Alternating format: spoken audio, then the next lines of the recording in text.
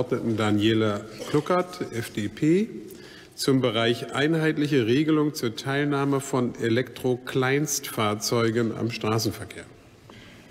Sehr geehrter Herr Präsident, ich gebe darauf folgende Antwort. Äh, zusätzlich zur Elektrokleinstfahrzeuge-Verordnung für Elektrokleinstfahrzeuge mit Lenkstange wird derzeit im Bundesministerium für Verkehr und digitale Infrastruktur mit Blick auf die Mikromobilität eine Ausnahmeregelung erarbeitet, damit zukünftig auch Elektrokleinstfahrzeuge ohne Lenkstange im öffentlichen Straßenverkehr genutzt werden können.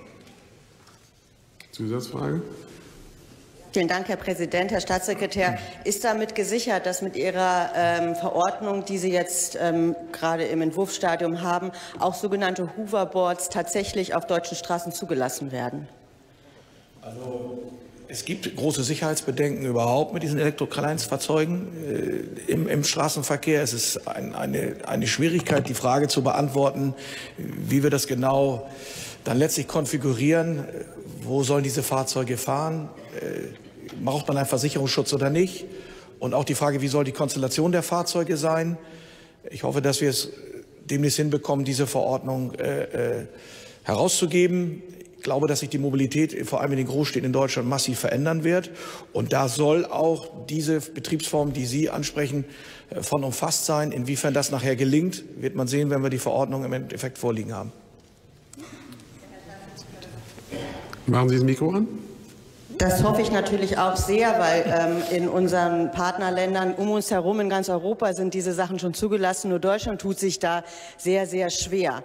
Ein ähm, Bestandteil dieser Verordnung ist derzeit, dass Schilder ausgewiesen werden sollen, wo diese ähm, Kleinstfahrzeuge dann fahren sollen. Ich frage deswegen das ähm, Verkehrsministerium, wie hoch beziffert denn das Verkehrsministerium die Kosten, die dafür Kommunen auf sie zukommen, äh, wenn wir derartige Schilder einführen? Bei einer solchen Kostenermittlung sind wir noch, wenn wir denn solche Schilder einführen. Das ist eine Frage, die man in der Tat debattieren muss, ob wir neben den vielen Schildern, die wir eh schon haben, noch weitere Schilder brauchen. Aber die Frage ist, wo soll man diese Fahrzeuge grundsätzlich zulassen? Ich habe durch eine Augenscheinnahme in Städten, in denen die Zulassung dieser Elektrokleinstfahrzeuge schon erlaubt ist, gesehen, welche hohen Unfallrisiken teilweise die häufig sehr jugendlichen Fahrer mit diesen doch sehr schnellen Geräten äh, eingehen. Und das muss man sich gut überlegen, ob die auf der Straße fahren, ob die in Konkurrenz zu den Radfahrern auf die Radwege sollen oder ob die gegebenenfalls auch Gehsteige in Anspruch nehmen sollen, wo sie dann in Korrelation mit den Fußgängern kommen. Also trivial ist diese Frage nicht. Und deswegen äh, beschäftigt uns das auch, das merken Sie an meiner Antwort. Ähm, ich bin auch für freie Fahrt, für freie Bürger. Aber hier kann es auch zu erheblichen Gefährdungen nicht nur der Person des Fahrers selbst, sondern auch anderer Personen kommen. Und deswegen müssen wir das sehr sorgsam abwägen. Und da können Sie sich wie üblich darauf verlassen, dass wir das als Ressort vorlegen. Und wenn wir uns für Schilder entscheiden, dann können wir noch genau, ziemlich genau beziffern, was als Kostenbelastung dann gegebenenfalls auf die Kommunen zukommt.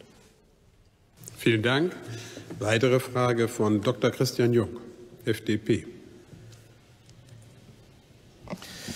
Ja, Herr Staatssekretär, was überhaupt nicht verständlich ist, dass Sie die E-Scooter nicht aus der Gesamtverordnung rausgenommen haben. Die hätte man längst zulassen können. Und deswegen mal die ganz konkrete Frage, wann werden jetzt die E-Scooter, also die elektrischen Tretroller, zugelassen? Es gibt schon Hersteller, die bekannt gegeben haben gestern, dass Ende Februar die Zulassung auch mit Plakette möglich sei. Wir wissen als Abgeordnete davon nichts. Wissen Sie vielleicht mehr? Äh, das Kraftfahrtbundesamt kann schon bereits äh, Erlaubnisse erteilen und Genehmigung erteilen. Allerdings müssen wir für die Inverkehrsnahme die Verordnung abwarten, über die wir vorhin gerade gesprochen haben. Unser Ziel ist es, zum Frühjahr äh, die zuzulassen, die Gerätschaften, weil es sind Freiluftgeräte und da bietet es sich an, dass wir zum Frühjahr äh, auch zur Zulassung kommen. Haben Sie, haben Sie eine Zusatzfrage? Darf ich nicht. Sehr geehrter Herr Staatssekretär, was heißt es im Frühjahr konkret? März, Ostern oder November, Dezember? Die Frage verstehe ich nicht. Wenn bei Ihnen November, Dezember zum Frühjahr kommt, weiß ich nicht, über welche Jahreszeiten Sie philosophieren. Also ich habe gesagt Frühjahr und damit bleibt es beim Frühjahr. Und das Frühjahr ist definiert. Das Frühjahr ist definiert. Das Frühjahr ist definiert.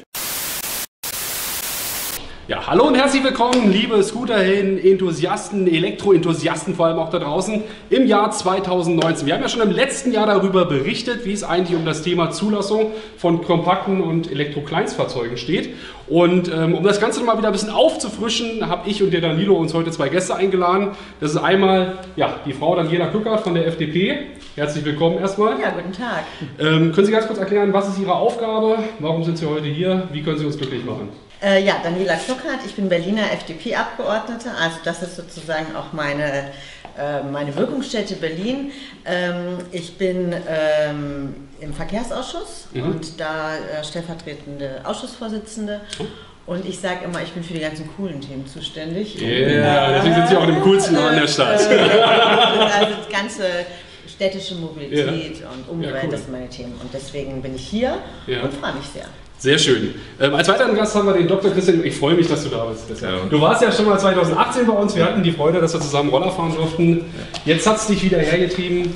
Was ist der Grund? Erzähl doch mal ganz kurz. Du hast Neuigkeiten für uns, habe ich erfahren. Ja gut, wir sind ja seitdem wir Marcel uns kennengelernt haben, eigentlich pausenlos in Kontakt, äh, ja. weil ähm, durch euch, eure Reichweite insgesamt ähm, ich auch unglaublich mit vielen ähm, Leuten aus der ganzen Community Kontakt habe.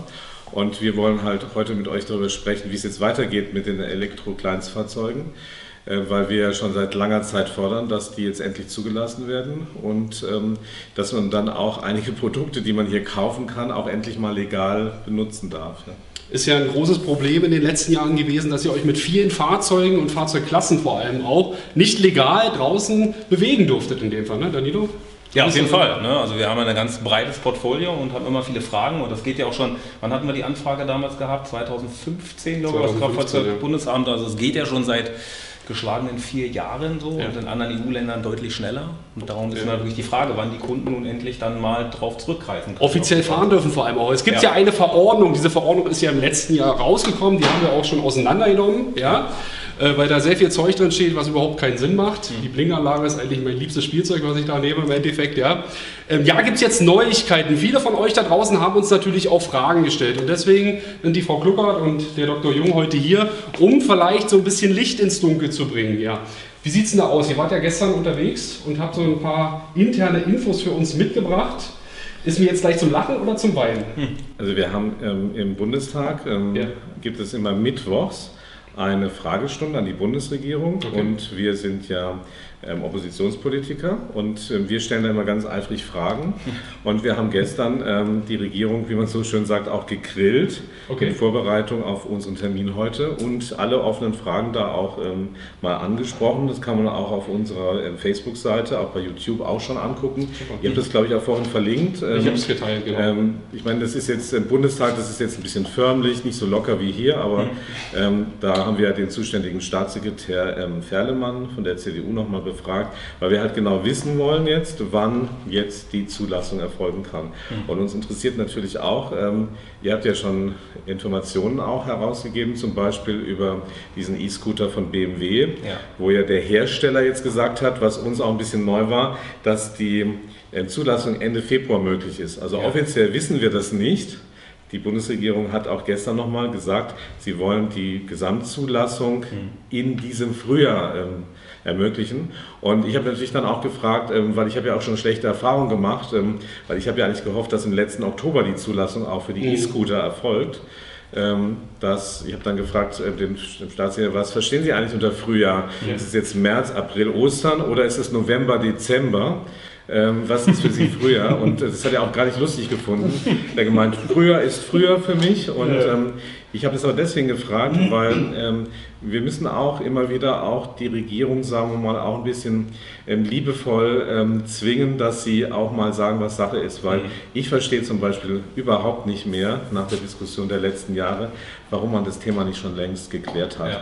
Und warum man auch ähm, die E-Scooter nicht getrennt hat von den restlichen Elektro-Kleinstfahrzeugen.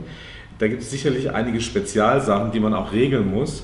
Ähm, aber bei den E-Scootern bis 20 km/h, da gibt es eigentlich nicht mehr viel zu regeln. Und sagt ja auch die Versicherungswirtschaft, äh, dass sie sich auch komplett vorbereitet hat. Also wenn die ja. dann die Sachen zugelassen sind, können natürlich dann auch die ähm, die Leute dann eine Plakette noch ähm, draufkleben, müssen sie wahrscheinlich auch. Okay. Und dann zeigt man also auch, wenn man dann zum Beispiel angehalten wird, dass man nicht illegal unterwegs ist, mhm. dass das ähm, Fahrzeug zugelassen ist okay. und dass man auch Versicherungsschutz hat. Mhm. Und ähm, das soll jetzt alles ähm, im Frühjahr, Na, wie auch immer die Regierung das definiert gemacht hat. Wäre ja für uns genau das wichtige Thema, weil wir auch mal gesagt haben, wenn wir diese Zulassung haben, wäre natürlich eine Bekennzeichnung sehr schlecht, weil wir dann einfach den öffentlichen Nahverkehr wenig nutzen können. Und das ist eigentlich das Ziel, was wir gerne möchten, ne? dass wir die, die Innenstädte natürlich ein bisschen entschlacken, dass wir Fahrzeuge oder Kunden haben, die haben drei bis fünf Kilometer Fahrweg und die natürlich gerne auf öffentliche Verkehrsbetriebe nutzen wollen, was sie auch jetzt machen, aber noch nicht mit unbedingt einem legalen Gerät. Mhm. Und äh, dass es eigentlich so in die Richtung eben geht. Und andere EU-Länder machen uns das auch ein bisschen vor dass das in die Möglichkeit geht. Also ist die Frage eigentlich schon beantwortet, wie schnell dürfen die Fahrzeuge zukünftig sein? 20 km/h oder gibt es noch oder die schneller. Chance auf 25 km/h? Wir haben sehr, sehr viele User-Anfragen da draußen erhalten, die gesagt haben, Mensch, warum macht ihr 20 km/h? Ihr stellt damit eine Behinderung auf Radwegen da. Jedes Pedelec, was im Endeffekt zulassungsfrei ist oder führerscheinfrei, fährt 25 km/h. Also ähm, bleiben wir bei 20 oder gibt es schon eine Info, ob es vielleicht auch nach oben noch ein Stück mehr gibt? Also ich bin mal gespannt, ob es überhaupt kommt, ehrlich gesagt. Also oh. der, ähm, der Staatssekretär, den wir gestern gefragt haben, hat eigentlich so viele Fragezeichen aufgeworfen und von so vielen Risiken gesprochen, dass ich überhaupt nicht davon ausgehe, dass es überhaupt in der Gänze ähm, erlaubt wird. Ähm, und unser Vorschlag ist ja, dass man sagt, man braucht eigentlich drei Klassen. Also man mhm. muss eben unterscheiden zwischen den ganz kleinen Dingern, die so als Spielzeug sind, mhm. dann zwischen dem ist 25 und dann eben drüber. Mhm. Das ist dann auch anderes mit dem öffentlichen Nahverkehr und so. Also im Regierungsentwurf steht ja 20 km/h, mhm. aber ich bin mir nicht sicher, ob das jetzt tatsächlich dann am Ende so kommt ähm, mhm. oder ob wir eben entweder bis Weihnachten Weihnachten warten müssen oder darüber hinaus, ähm, weil ähm, eben ja so äh, die Idee, dass man ähm, tatsächlich mal was macht für die Umwelt und mal ja. schaut, dass man ja. eben die letzte Meile dann auch ähm, gut, gut überbrücken kann mit solchen ja. ähm, neuen Verkehrsmitteln überhaupt nicht gesehen wird, ist meine Meinung. Und da gibt es ja auch ganz andere Absurditäten. Also schon alleine die Idee, dass man, das hatten wir auch gefragt, was kosten denn eigentlich die ganzen Schilder, die ja. da aufgestellt werden sollen, ja. ja? Und ist es dann so, am Ende des Tages, dass arme Kommunen, dass man da nicht E-Scooter fahren kann, weil sie kein Geld für die Schilder haben, ja, so ungefähr. Mhm. Auch das ist ja überhaupt nicht im Klaren. Ähm, das, da sind noch sehr viele Fragezeichen und ja, wir tragen weiter. Also ich kann mich an so einen Brief vom parlamentarischen Staatssekretär äh, erinnern. Wer hat mir den dann zugeschoben? Warst du das? Im letzten Jahr? Oder das war der Matthias, oder das war der Matthias Gastel von den also, Grünen? Also wir, wir, nee, nee, wir, wir stehen, also wir sind hier nicht bei den Grünen. Stopp, nee, nee, wir können das ruhig drin lassen. Wir sind hier nicht bei den Grünen. Wenn wir euch was geben, sind es offizielle Sachen. Ja? Ja. Ähm, also um mal diesen kleinen Spaß uns zu erlauben, weil es ist ganz wichtig, dass wir eine Sache gemeinsam versuchen. Ähm, und deswegen habe ich auch gesagt 20. Ich wäre jetzt ja wirklich dankbar, wenn die E-Scooter endlich mhm. zugelassen werden, weil es gibt keinen Grund, die nicht zuzulassen. Ja.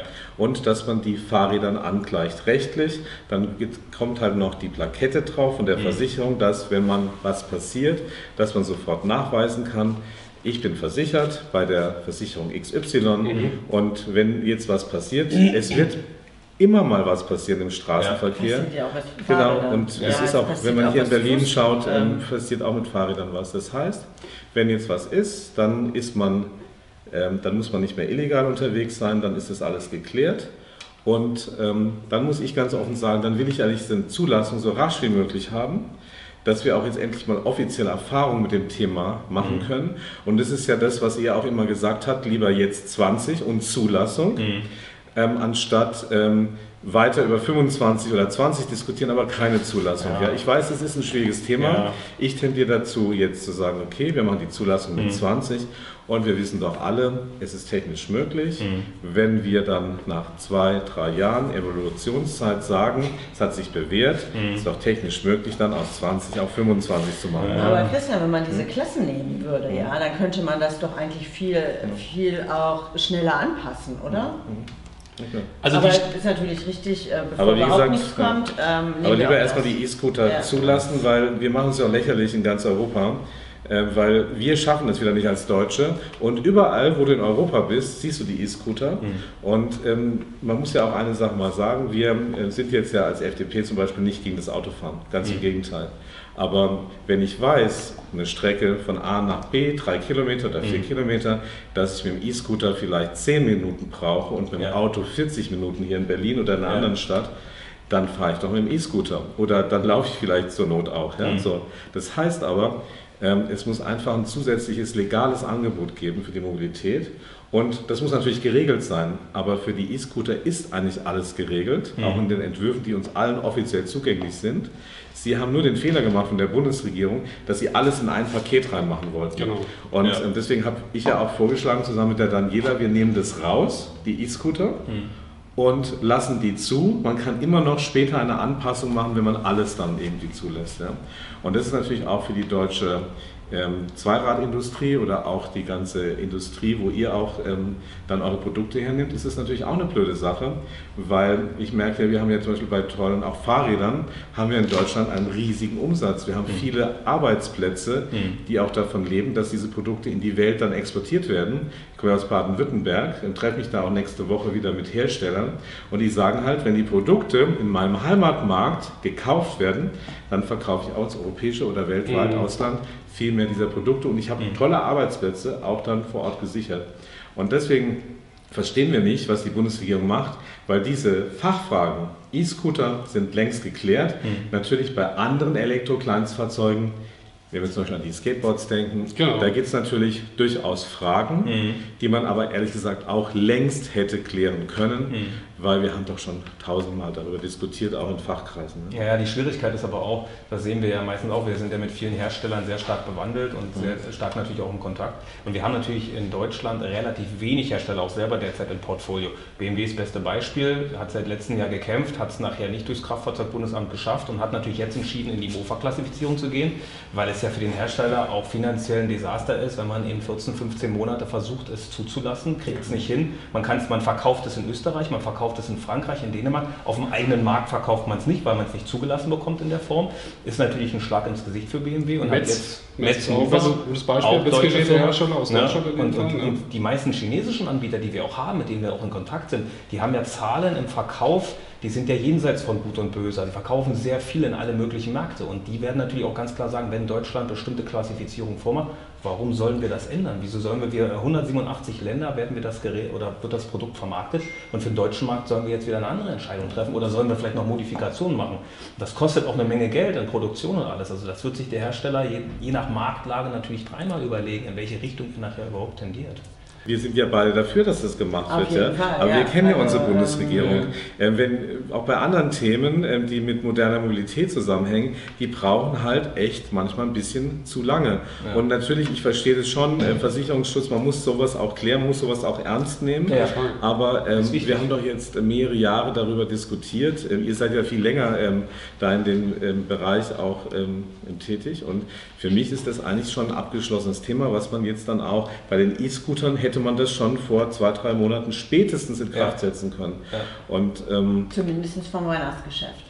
Ja, wo das jetzt mal dahingestellt ist, weil ich habe die Befürchtung, wie wir es bei vielen Sachen auch haben, auch wenn wir die Gesetzgebung haben, jetzt mit 20 km/h oder mit anderen Einschränkungen, wenn es erstmal vom Tisch ist, wir sehen es ja in anderen Bereichen auch, wie lange es dauert, da nochmal heranzuknüpfen ne? oder dass man dann nicht gewillt ist, dann auch nochmal Veränderungen zu nehmen. Also ich war eigentlich recht positiv gestimmt, als man Oktober, November gesagt hat, nein, man möchte nochmal rangehen, man möchte bestimmte Sachen, vielleicht wie Blinker und solche Sachen jetzt streichen, weil es einfach Blödsinn ist. Ich brauche es beim Fahrrad auch nicht vorgeschrieben, beim Mofa haben wir es auch nicht vorgeschrieben. Gleich die Volumenanzeige zum Beispiel ist ja genau. verrückt, wenn man dann irgendwann mhm. auf so einem Ding steht ohne Lenker, dann äh, muss man da sich bücken und gucken, wo ist genau. jetzt mein Volumen. Ja? Genau. Also, äh, also das ja völlig praxisfremd. Ähm, genau. Das ist ja auch der Punkt, ne? praxisfremd, das ist ja meistens immer das Thema. Dann wird sich auf Studien, sage ich jetzt mal, gestützt, die auch mal nicht so Aber was passiert denn jetzt mit der ja. Verordnung? Da wurde für richtig Geld unter 48 Seiten hingehämmert. Ja? Da hat jemand erklärt, wir fassen jetzt mal alles zusammen, wir kippen mal die letzten 50 Jahre und äh, schreiben jetzt alles neu. Die Bundesregierung hat das vorliegen. Die wissen eigentlich, was zu tun ist, dass da ein paar Sachen nicht so koscher sind. Okay, die kann man dann ja rausnehmen. Warum kann man sich dann an dieser Verordnung nicht so ein Stück weit orientieren und das Ganze jetzt ein bisschen anschubsen, damit wir irgendwo auch Teil werden von diesem Thema? Gut, also ähm, man muss jetzt fairerweise so sagen, wir leben jetzt ja in einer Demokratie und wir haben eine Regierung, die ist äh, vom Bundestag gewählt worden, nicht von uns, sondern von anderen Parteien. Und die schafft es jetzt ähm, im Januar, vielleicht Februar nicht, das umzusetzen. Sie haben uns jetzt offiziell gestern, dann kann man ja auch in dem Video sehr gut nachsehen, ähm, haben Sie gesagt, im Frühjahr. So. Im Frühjahr. Und ähm, jetzt, jetzt bin ich ähm, vielleicht manchmal ein bisschen naiv, aber wenn mir so ein Staatssekretär ähm, in der Öffentlichkeit sagt, im Frühjahr, und ich frage ja. dann nochmal, könnte es nicht auch November, Dezember bei Ihnen heißen, ich kenne Sie ja, wenn der mir dann sagt, doch im Frühjahr, dann ähm, ist aber die Wahrscheinlichkeit sehr hoch, dass man das auch macht. Mhm. Das heißt, ähm, ist es natürlich so, ähm, auch unsere Zuschauer, macht doch Druck auch, ja? Mhm. Schreibt doch auch dem Minister Scheuer, ja? Mhm. Der Minister Scheuer ist jemand, der macht sehr gerne ähm, Fernsehauftritte, ja. Mhm. Der hat auch einen eigenen YouTube-Kanal, ja. Mhm. Ist überhaupt nicht. Der wird immer ja, ja. Herr Scheuer, wir kommen. Aber, dann macht doch auch einfach selbst nochmal Druck, ja? ja. Ihr seht ja, ähm, deswegen durften wir ja auch wieder zu euch kommen, mhm. dass wir uns ja wirklich ähm, obwohl wir nichts miteinander sonst zu tun ja. haben, wirklich anstrengen, dass wir dieses Thema umsetzen, mhm. weil wir das einfach für wichtig erachten. Und jetzt schaut doch einfach, dass ihr auch zum Beispiel dem Andreas Scheuer, auch seinen Staatssekretären, dass ihr dann auch mal sagt, äh, was ist denn da eigentlich los? Mhm. Ich habe zum Beispiel nach dem letzten YouTube-Video äh, unzählige hunderte von E-Mails bekommen. Ja weiß nicht, 90 Prozent waren positiv, die anderen nicht, aber das macht ja auch nichts. Ja. Auch manchmal ganz lustig, wenn man irgendwie mal beschimpft wird, aber äh, ja, nee, es gehört auch dazu, gehört ja. auch zur Demokratie dazu. Wenn das humorvoll ist, ist es ja okay. Aber was ich damit sagen will, ist, ähm, macht doch auch dann so jemanden auf, ähm, aufmerksam. Man mhm. kann auch ähm, da E-Mails auch hinschicken, man kann auch seine Meinung sagen. Ihr habt ja auch die Demo gemacht in Berlin. Ja? Wir waren Teil ja. der Demo, also genau. da nochmal herzlichen Dank an Electric Empire. Ich weiß, ihr plant schon die nächste Demo und äh, der Christian ist auf jeden Fall dabei. Dann haben wir gleich mal eine Aufgabe im neuen Jahr. Ne? Definitiv. Ja, wie ihr auch, dass ihr dann gleich mal, ne? wir Kommentare, das, wir Kommentare und Teil, bis der Arzt kommt, wir machen das. Mhm. Ja? Aber sag mal ganz kurz jetzt nochmal, ich, was ich jetzt vorhin verstanden habe, ähm, es gab jetzt schon Versicherungen, die sich auf das Thema schon spezialisiert haben, um diese Fahrzeuge zu zukünftig zuzulassen ja. und das Ganze mit einer Versicherungsplakette zu versehen. Das bedeutet also im Umkehrschluss, es wird keine Kennzeichen geben? Oder wie muss ich mir das vorstellen? Also die Versicherungen haben das schon mal ähm, überprüft, ja. wie man das machen kann. Es geht ja auch um so ähm, ähm, Anbieter, die das dann in Städten ähm, auch ausleihen, wo du dann mit deinem mhm. Smartphone wie bei den Fahrrädern ja, ja, genau. ja, Sharing äh, so Sharing-Modelle und dann hast du eine App und dann gehst du, dann zeigt dir die App an, wo dann das ähm, ja. der E-Scooter ist. Hatten wir in Lissabon und, auch, genau. Moskau hatten wir das auch. Und da ist es halt so, ähm, da brauchst du halt, ähm, da musst du dann halt nachweisen, auch als Ausleiher, dass ähm, der E-Scooter, den du gerade ausleihst, dass der versichert ist. Ja? Mhm. Weil äh, wenn du das jetzt ausleihst und du überfährst ähm, jemanden damit ja. und der muss ins Krankenhaus oder es vielleicht noch was Schlimmeres passiert, dann ist es ganz gut, wenn man gleich bei der Unfallaufnahme weiß, was Sache ist. Mhm. Und ähm, weil die ja dann auch haften für jemanden mhm. wie dich, äh, muss das halt geregelt sein. Und die haben sich darauf vorbereitet und ähm, weil es ist ja schon cool, wenn man mal eben die 1000 E-Scooter versichern kann. Ja? Also es lohnt sich auf jeden Fall für die Versicherung. Ja, ich wollte gerade sagen, wir haben ja auch immer gesagt, ähm, wir hatten ja damals mal ein Versicherungsprodukt äh, mit der VAV äh, initiiert, 2016, glaube ja. ich mich recht entsinne, und da haben wir ein Versicherungsprodukt geschrieben mit einem Assikurateur.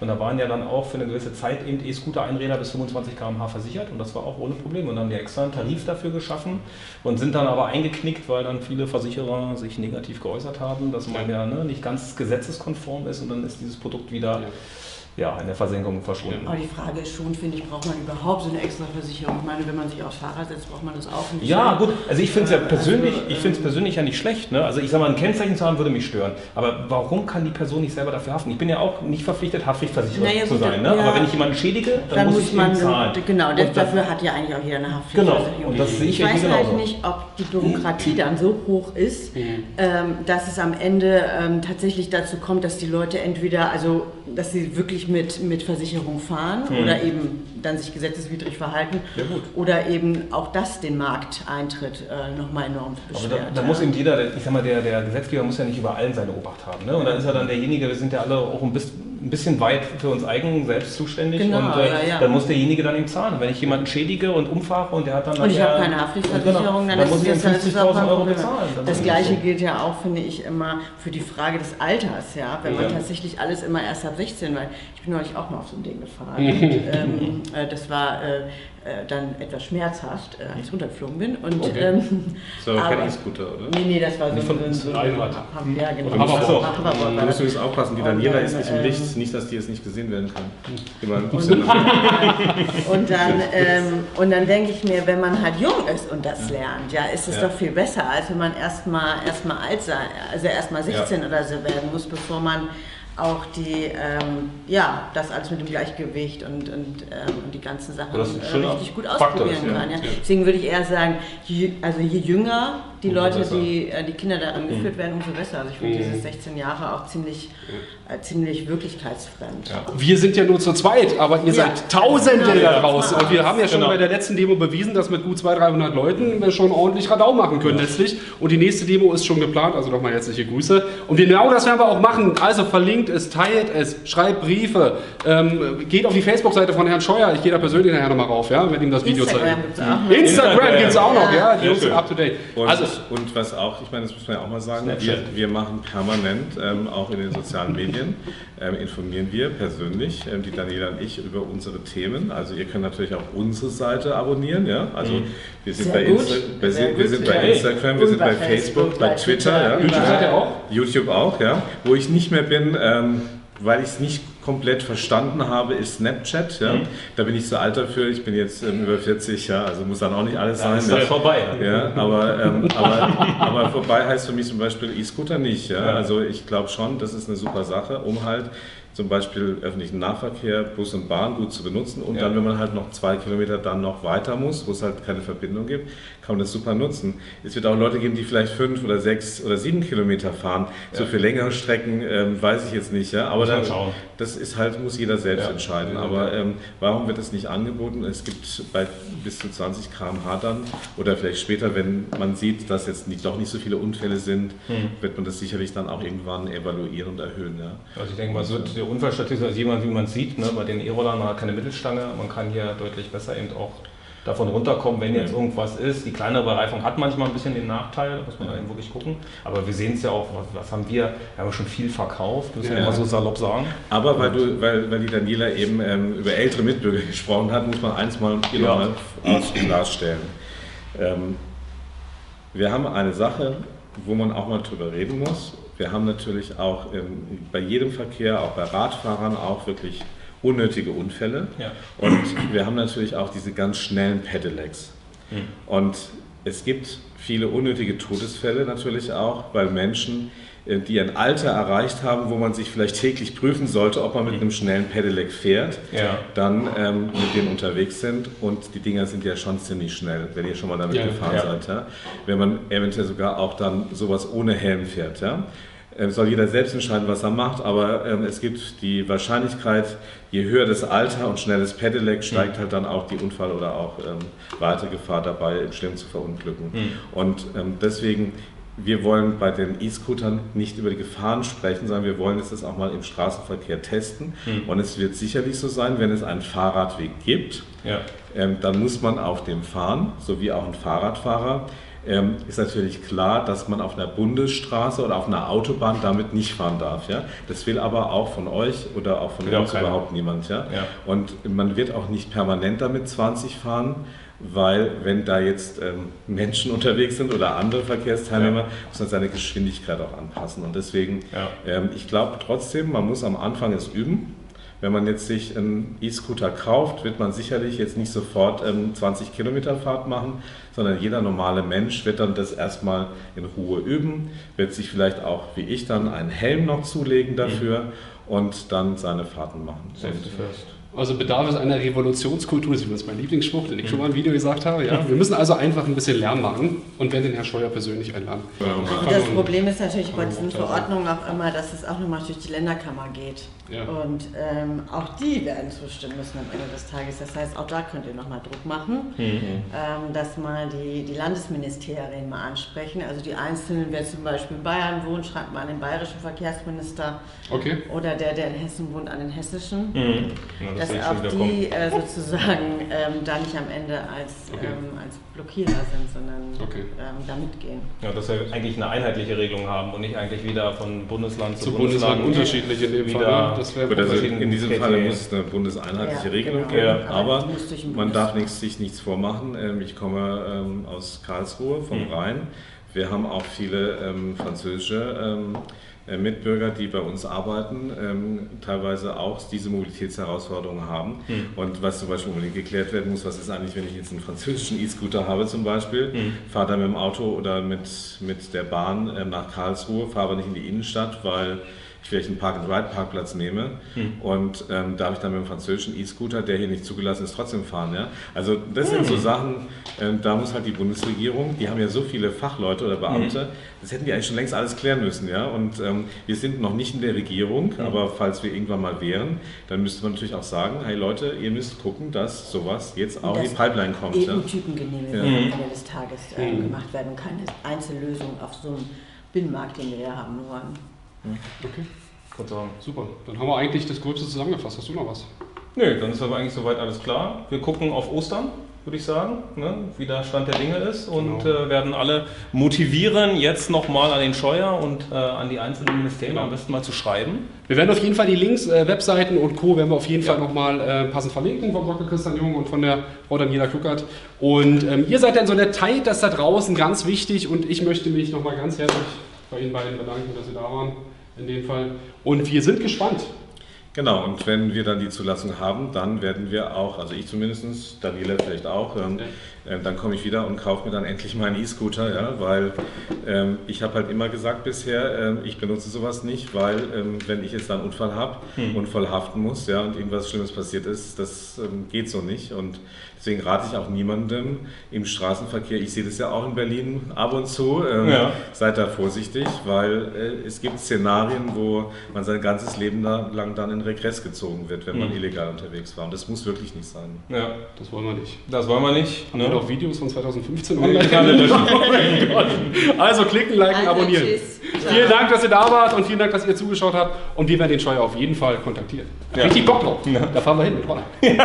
mit Zulassung. Mit Zulassung. Mit Zulassung. Mit zugelassen. Super. Bis zum nächsten Mal. Alles klar. Vielen ciao, Dank. ciao.